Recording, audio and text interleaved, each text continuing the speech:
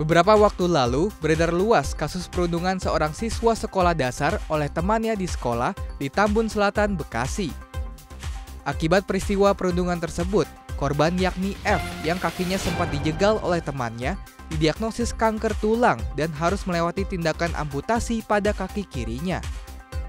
Mengetahui kabar tersebut, Deputi Bidang Perlindungan Anak Kementerian PPPA, Nahar, mengunjungi F di rumah sakit pasca korban melewati tindakan operasi amputasi. Nahar menerangkan kasus perundungan yang diterima F tengah diselidiki oleh pihak kepolisian.